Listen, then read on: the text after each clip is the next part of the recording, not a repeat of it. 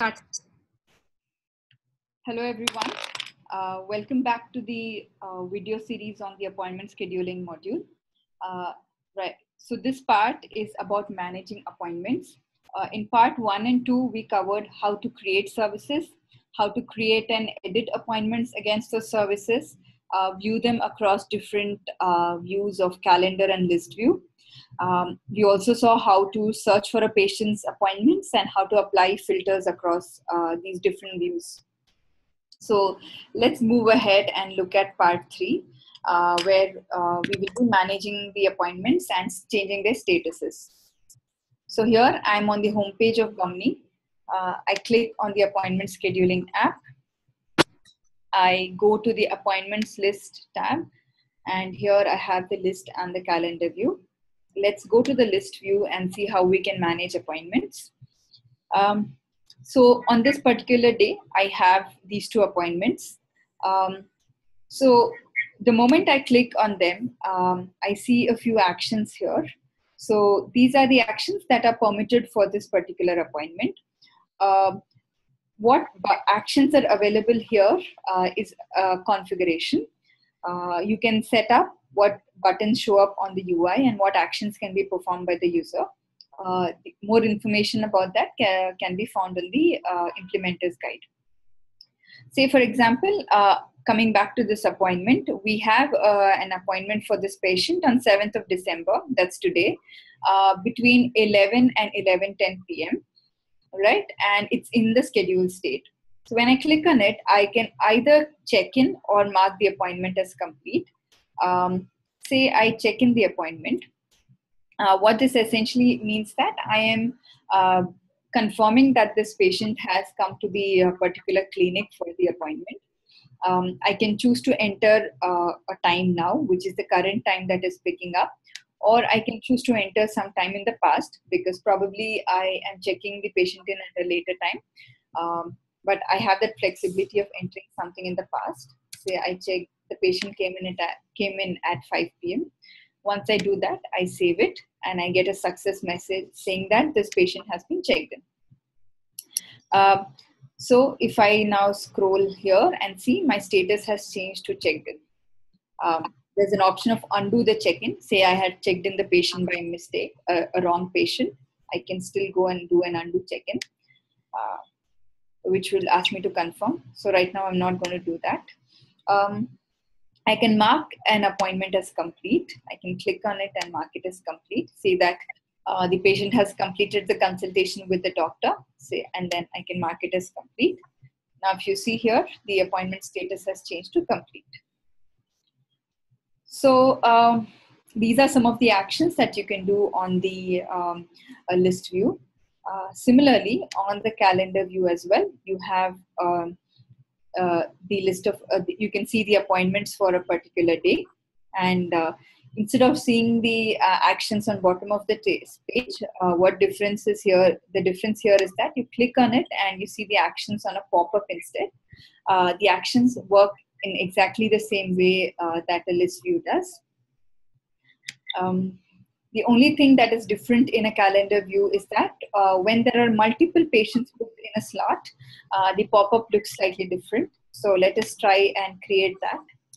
Uh, for example, on uh, the 8th of December under Dr. Varsha Kumari, we have uh, two patients booked. I'm going to book another patient here. Um, I'm going to click on add new appointment, which is going to pick up the same slot information as this uh, patient here.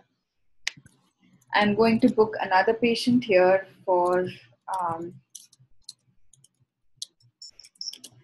say I book a connect test and I am booking this patient for a diabetes service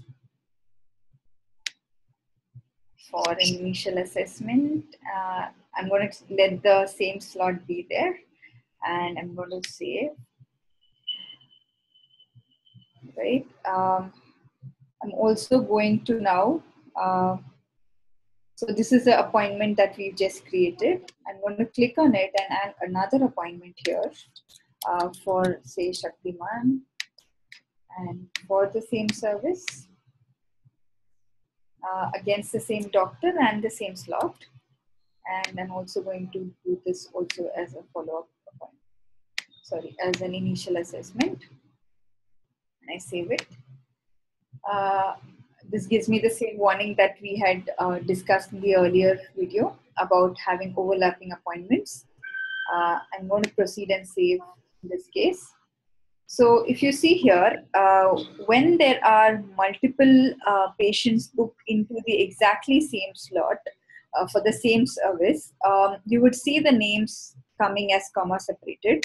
Clicking on it, uh, this pop-up looks different from the earlier uh, pop-ups uh, because now I will have to select a patient from the drop-down for, for whom I would like to perform any action say I want to it, I want to perform an action for Shaktiman, I click and select that patient, and then I do the action that I would want to.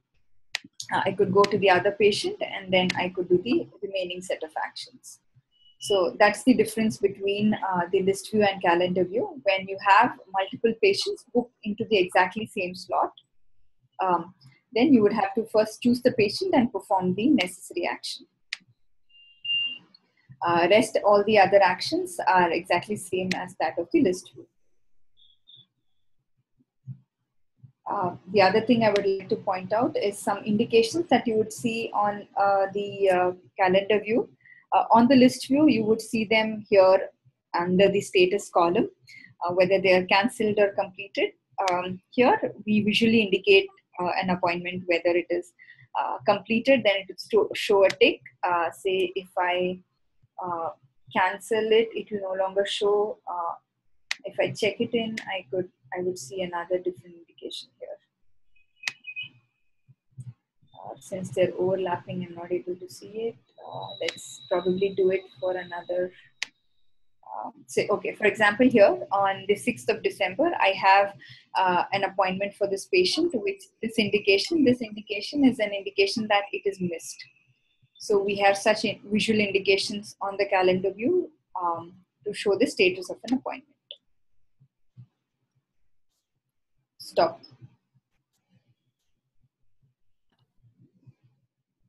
So that was all about uh, managing appointments. Um, if you want more information, uh, refer to these links here. Uh, so the first one is our documentation page where you can uh, get more comprehensive information about uh, the um, using the application and configuring it. Uh, you can refer to our uh, demo links uh, where you can play around with the application and you can also uh, reach out to us on various forums if you have any questions, doubts, or clarifications. Um, so you can reach out to us on OpenMRS Talk uh, under the Bahmni channel Similarly, you can also reach out to us or ping us on the uh, community channel uh, on Bahmni Slack. Thank you.